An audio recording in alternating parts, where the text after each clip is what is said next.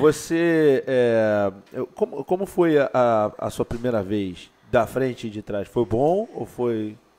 Então, por incrível que pareça, eu gostei mais atrás do que na frente. Das primeiras, da, das primeiras vezes, né? Foi, porque, nossa, eu era muito apertada, muito. Então, assim, foi muito dolorido. Eu tive que fazer três vezes o, o sexo na frente, em dias diferentes, para eu sentir tesão. O primeiro dia foi horrível, foi uma dor horrível. Aí o segundo dia é, foi um pouco melhor.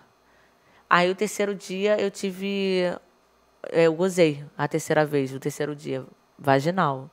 Só hum, gozou no terceiro dia? É, que aí já estava mais. Ali o caminho já estava mais caminho andado.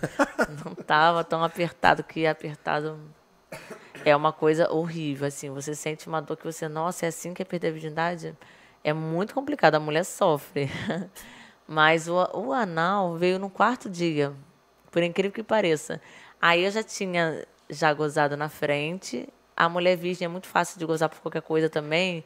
O cara toca na perna, a mulher sente arrepio, o cara beija no pescoço, ela sente arrepio, toca na barriga, você sente tesão louco, porque você não, não conhece muito ali o sexo, então tudo te dá tesão. e aí foi assim que facilitou o anal, porque eu já estava toda gozada, toda assim com aquele prazer intenso, e aí como o, o anal não se pede, ele se come, foi mais ou menos assim. Eu estava de ladinho, e aí fui entrando na portinha de trás. Aí quando entrou na portinha de trás, eu ainda perguntei assim, tá onde eu, pense, eu tô pensando que tá? Aí ele falou, tá. Eu, nossa, mas tá tão gostoso. Aí foi daí que ele fez a técnica. Ele laciou, depois fez aquela pressão e pronto. Eu fiquei apaixonada pelo sexo anal. E eu levei isso pra minha vida toda. Por isso que eu trouxe isso no pornô, de uma forma tão intensa que eu virei até bicampeã anal. É, tem isso também, né? Como é